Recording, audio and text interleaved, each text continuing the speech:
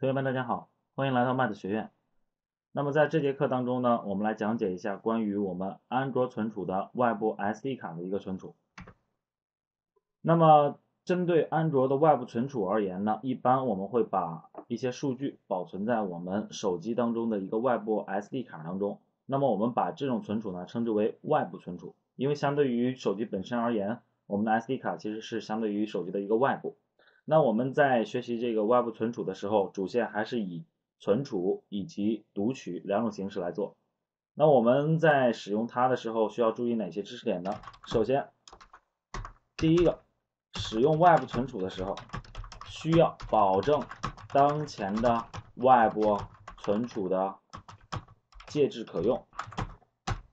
那么这句话是什么意思呢？其实就是来保证我们当前外部存储的那个 SD 卡呢，其实已经被挂载上。我们可以在手机当中呢直接访问到这个 SD 卡。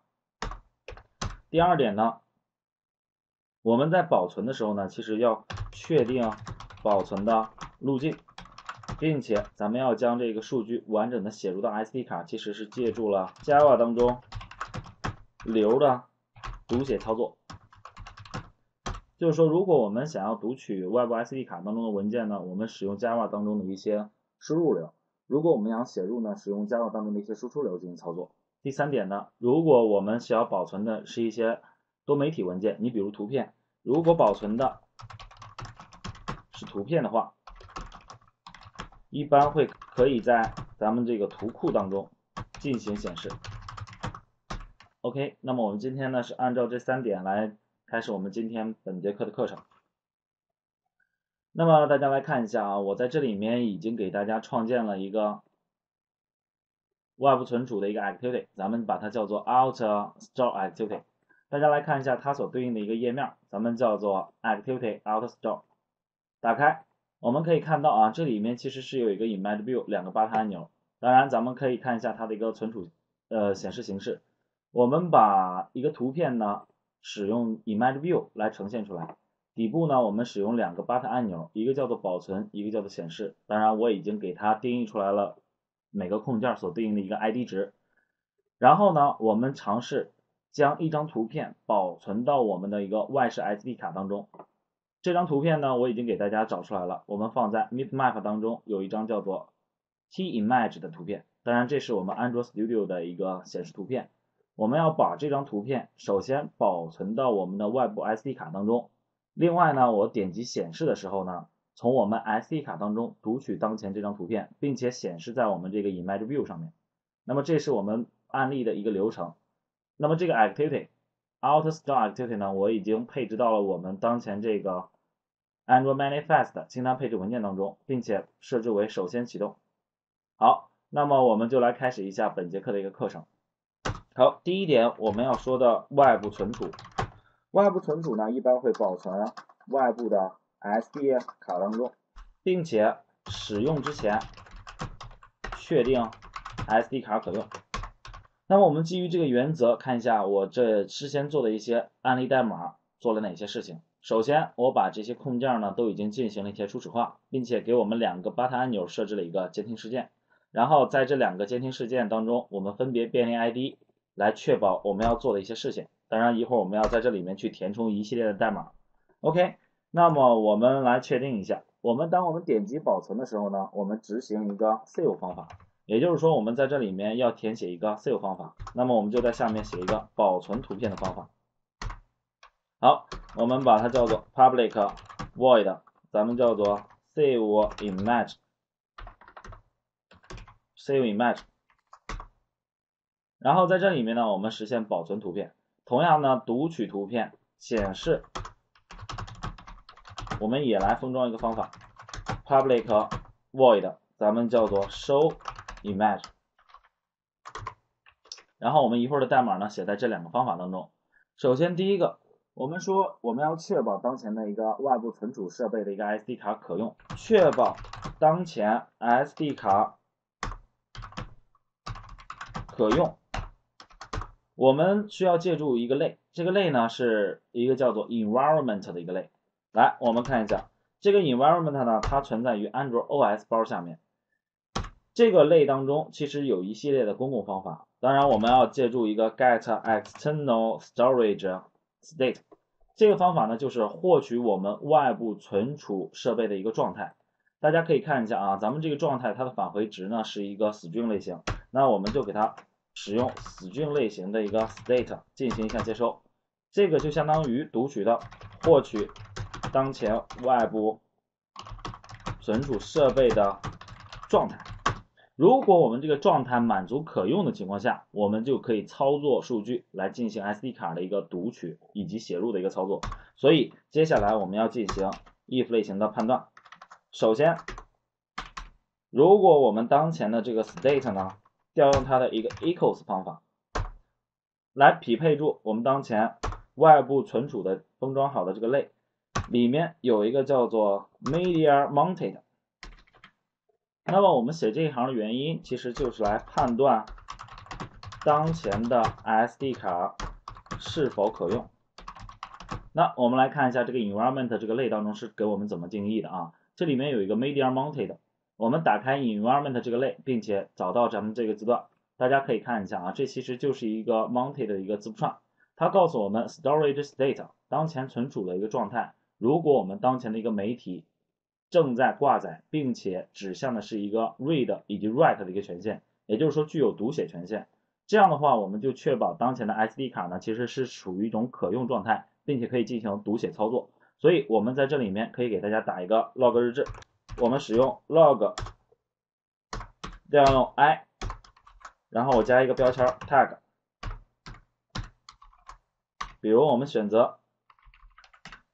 比如我们打印当前 SD 卡可用，这可用呢，我们表示既可读取又可写入。然后同样呢，我们继续调用一个 else 判断 if，如果当我们刚刚获取到的这个 state 调用 equals 与我们当前这个 environment 点，比如我们匹配一个叫做 media mounted read only。这就相当于我们当前的这个 SD 卡只是具有读取的权限，并没有写入的权限。也就是说，我们当前 SD 卡不可写，只读权限。好，其余的一些呢，我们就不再进行判断了，我就直接一个 else，我们判断当前 SD 卡处于一种不可用的状态，不可用。然后我们做这样的一个 if 类型的判断，其实是为什么呢？我们可以使用一个标记来控制，当我们点击按钮的时候，它到底。是否可以进行使用？所以呢，我们在上方来定义一个 provide，我定一个 boolean 类型的 flag。首先呢，我们等于 true。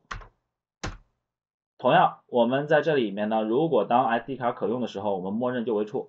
但是当它不可用的时候呢，我们就把这个 flag 改为 false。当然，在这个 SD 卡只读权限的时候呢，我们一般是来读取图片，但是没有办法进行写入。所以呢，我们把这个 flag 呢也给它改为 false，因为用户在操作的时候呢，保存和读取有可能是同时操作。当然，大家也可以继续做一个区分。好，有了咱们这个 flag，控制了这个 flag 之后，接下来我们点击保存这个方法呢，就可以在这里面做一个判断。if flag 表示我们当前的 SD 卡是可用的时候，我们就调用我们的一个 save image 的方法。同样，show 方法的时候，我们也给它调用一个 if flag，然后我们就可以显示我们当前的一个图片 show image。OK，那我们接下来所有的操作就应该在保存图片以及显示图片当中进行。那保存图片的时候怎么保存呢？首先我们要确保当前的 SD 卡要保存的一个路径是哪里，所以首先我们要获取当前 SD 卡的根路径吧。因为我们只有找到了根路径，才能在这个路径下面继续创建文件夹。那怎么获取 SD 卡的根路径呢？也是大家需要掌握的一点。获取 SD 卡的根路径，这也是一个知识点。那我们来操作一下这个根路径的一个获取呢，大家还是从我们这个 environment 当中调用咱们 get external storage directory。大家来看一下，它获取到的其实是一个 file 类型。其实这个 file 呢，就是我们当前的 SD 卡根路径，所以呢，我们可以使用一个 file 类型的，咱们叫做 SD path 来进行一下接收。这是我们当前 SD 卡的一个根路径。同样呢，我们要保存一个图片的话，我们一般会把这个图片声明成一个 file 类型。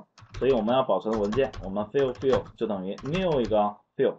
当然，我们操作当前这个 file 文件的时候呢，第一个我们可以添加当前的一个路径，并且呢还可以保存出来我们当前一个图片的名称。所以我们给它起一个名字，咱们就叫做 studio studio 点 jpg。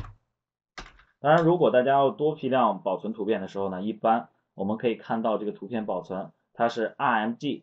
斜杠后面跟上我们当前图片的一个日期，这个日期呢，大家可以使用咱们那个时间规范的一个类，叫做 simple data format 来进行操作。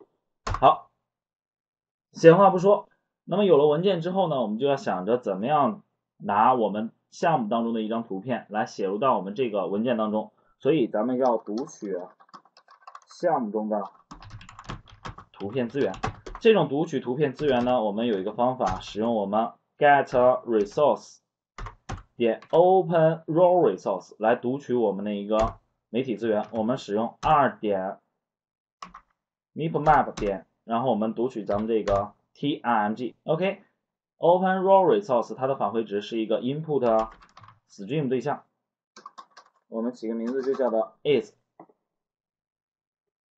is，OK，大家可以看一下啊，我们是使用二点 mid map 点 t m g 来引入的。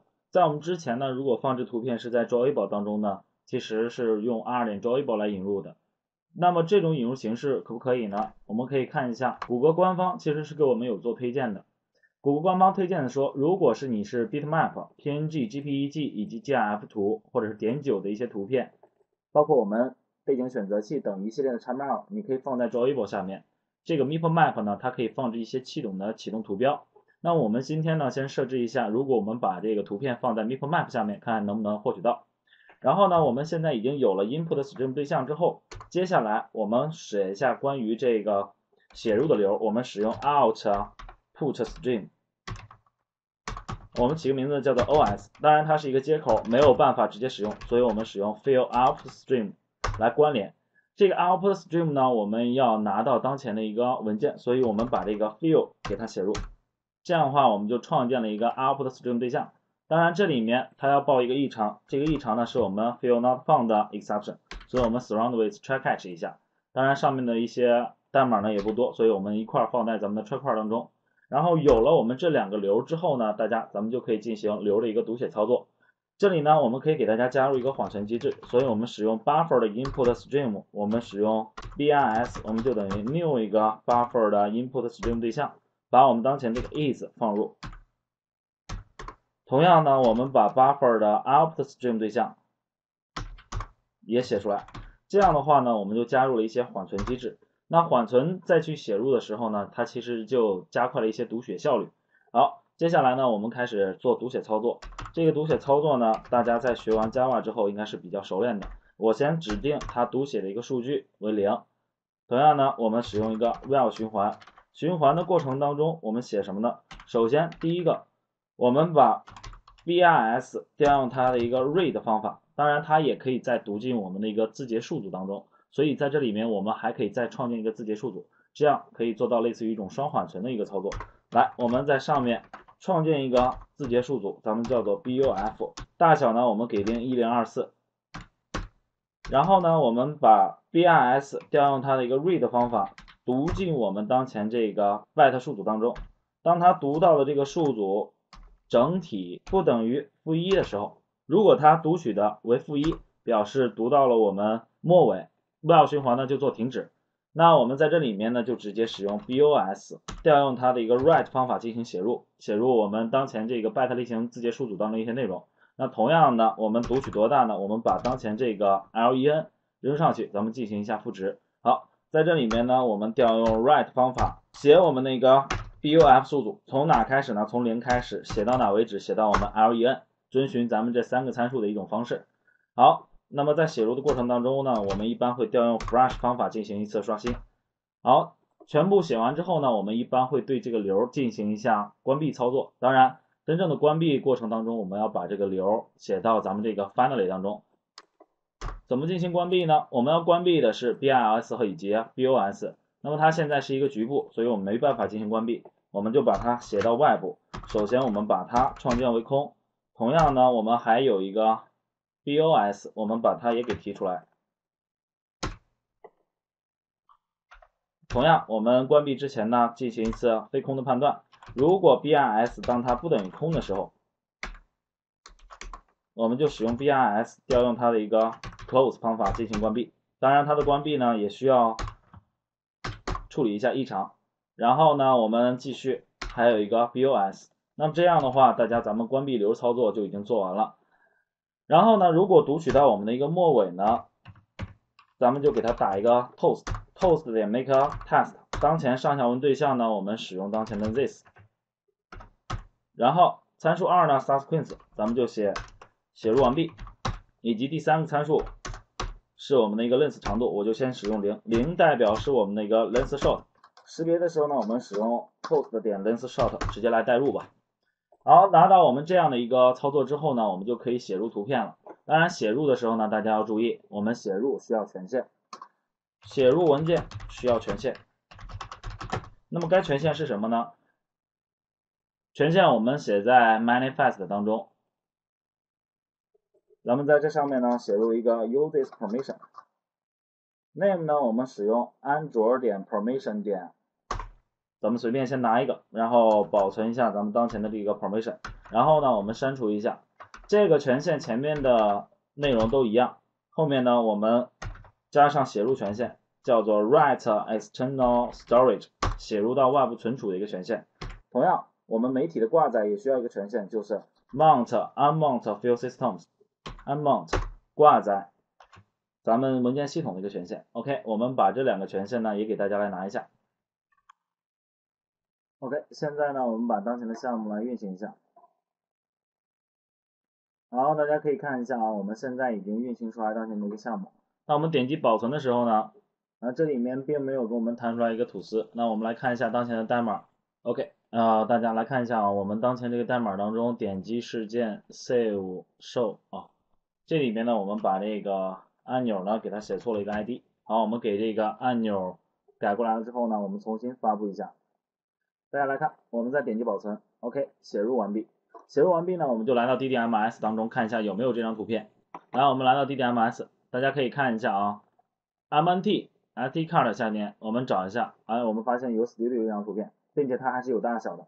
所以呢，我们确保我们当前的图片呢已经写入了。而读取图片呢，应该是比较简单的，我们是从外部的 SD 卡当中去读取，也就相当于我们要从这个 Fill 当中进行读取。然后我们这个 fill 呢，我们只要把它提成一个全局类型的变量呢，这一切就变得简单了起来。fill 完事之后呢，我们是在这个里面呢进行的一些初始化。然后呢，我们在这个收 image 当中读取图片呢，首先第一个我们可以直接借助 bitmap factory，咱们调用它的一个 decode fill，然后直接从我们这个文件当中进行读取。这里面呢，我们使用 fill 点 get。Pass 拿到我们当前的一个路径，那它的一个返回值呢，其实是我们的一个 bitmap 对象，好，我们就叫做 bitmap。有了咱们这样一张图像之后呢，我们就可以直接显示在我们当前的这个 out 杠 image 上面，咱们把它设置显示出来 bitmap。好，这样的话我们就已经拿到了我们当前图片的一个显示。同样呢，我们写完了这些代码之后，大家可以发现我们并没有渲染到图库。那么什么时候渲染到图库当中呢？其实是在我们写入完毕之后，我们就进行图库的一个渲染。所以在我们这里面，我们还需要调用一个代码，也就是说扫描进入我们当前的一个图库。所以呢，我们就直接写一个方法，咱们叫做 scan fill。扫描的这个路径呢，就是我们当前这个 fill 点 get pass。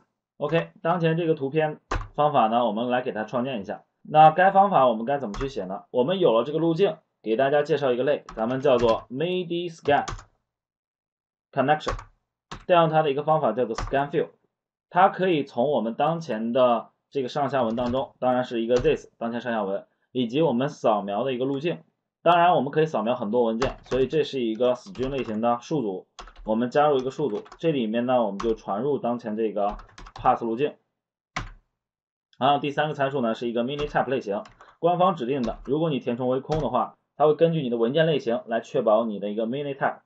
第四个呢是一个 onscan completed listener，也就是我们扫描完成的一个回调监听。这里面呢我们不需要，就先给它设置为空。好，这样方法一执行完，也就是说我们在写入完毕的时候，我同样扫描图片。好，我们再把当前的这个应用程序运行一下。OK，大家点击保存的时候呢，我们当前写入完毕，并且我们点击显示，当前的这个图片呢正好已经显示。那我们来到图库当中看一下。好，我们点击图库。来，大家可以发现，当前图库当中呢是存在我们当前这个 Android Studio 刚刚存入的这张图像。那么本节课呢，我们就来讲解了一下外部存储的一种简单使用。大家在注意确保 SD 卡可用的时候呢，我们是检查当前 SD 卡的状态。获取 SD 卡跟路径怎么获取呢？是借助我们 Environment 这个类来调用它的 Get External Storage Directory 来拿到我们外部的 SD 卡跟路径。那读写的权限呢，一个是我们写入的一个权限，write external storage，以及我们媒体挂载，mount on mount filter systems。那么这就是我们给大家来讲解的一个外部存储的一个读写操作。那么在本节课结束的时候呢，来给大家留一个小的练习。那么练习的内容呢，其实是将一首音乐文件保存到外部的 SD 卡当中，并且呢，大家在咱们这个例子基础上呢，我多加了一项，就是保存路径呢为我们 SD 卡跟路径下面，你再创建一个文件夹。叫做 My Music，呃，那么这个音频文件呢，我给大家拿了一个小点的，叫做 Shark Sound Mail。当然，大家如果喜欢自己的音乐的话，也可以按自己的一个风格进行保存。那么本节课呢，我们就给大家讲解到这里，欢迎大家持续关注安卓存储实现课程的一个讲解，同时也继续关注麦特学院更多精品课程。